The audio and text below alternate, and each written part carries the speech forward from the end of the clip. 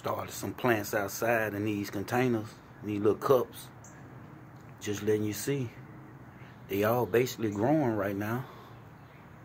Some better than others. Just showing you. If you plant them, they will grow. Get out there and plant you some.